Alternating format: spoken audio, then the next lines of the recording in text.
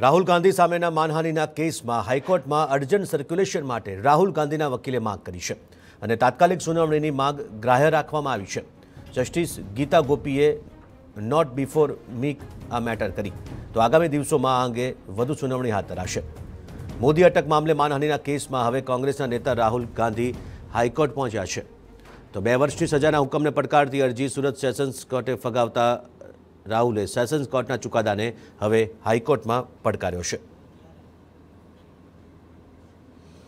વધુ જાણકારી લઈશું સંવાદદાતા રોનક વર્મા પાસેથી. રોનક, હવે જ્યારે સેશન્સના ચુકાદાને રાહુલ ગાંધી તરફથી હાઈકોર્ટમાં પડકારવામાં આવ્યો છે ત્યારે હવે તાત્કાલિક સુનાવણીની જે માગ હતી તે સંદર્ભે હવે ક્યારે સુનાવણી થશે? જરૂરથી જે પ્રમાણે સુરત સેશન્સ કોર્ટનો જે ચુકાદો હતો, રાહુલ ગાંધી સામે જે પ્રમાણે બગદક્ષીનો જે ગુનો નોંધાયો છે, તેમાં સેશન્સ કોર્ટે જે અરજી તેમની ફગાવી દીધી હતી, તેની સામે રાહુલ ગાંધી ગુજરાત હાઈકોર્ટના દ્વાર ખખડાવ્યા હતા. ગઈકાલે સાંજે જ્યારે આ અરજી ફાઇલ થઈ હતી અને આજે જે સમગ્ર જે રાહુલ ગાંધીના વકીલ છે, તેમણે તાત્કાલિક સુનાવણીની માંગ પણ કરી હતી.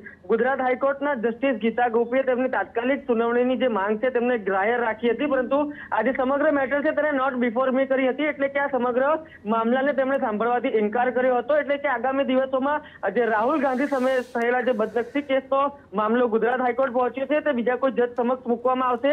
જે પ્રકારે માનહાનિનો કેસ છે અને તેમાં આ જ કેસમાં તેમને પોતાનું સંસદ સભ્ય પદ પણ ગુમાવવું પડ્યું છે, ત્યારે ગુજરાત હાઈકોર્ટના દ્વારે તેઓ આવ્યા છે. અરજીમાં જુદી જુદી માંગો કરવામાં આવી છે અને તે જ પ્રમાણે આજે ગુજરાત હાઈકોર્ટમાં તાત્કાલિક સુનાવણી કરવામાં આવે તેવી પણ માંગ કરવામાં આવી હતી. તેમની આ માંગને તો ગ્રાહ્ય રાખવામાં આવી છે, પરંતુ જે, જસ્ટિસ ગીતા ગોપીની કોર્ટ છે, તેમના દ્વારા નોટ બિફોર મી કરવામાં આવી છે. એટલે કે આગામી દિવસોમાં હવે અન્ય કોર્ટમાં આ જે કેસ છે તે ટ્રાન્સફર કરવામાં આવશે અને નિર્ણય કરવામાં આવશે કોણ આ કેસને સાંભળશે. જી, આભાર સમગ્ર જાણકારી બદલ. તો આગામી દિવસોમાં કેસ અંગે સુનાવણી હાથ ધરાશે.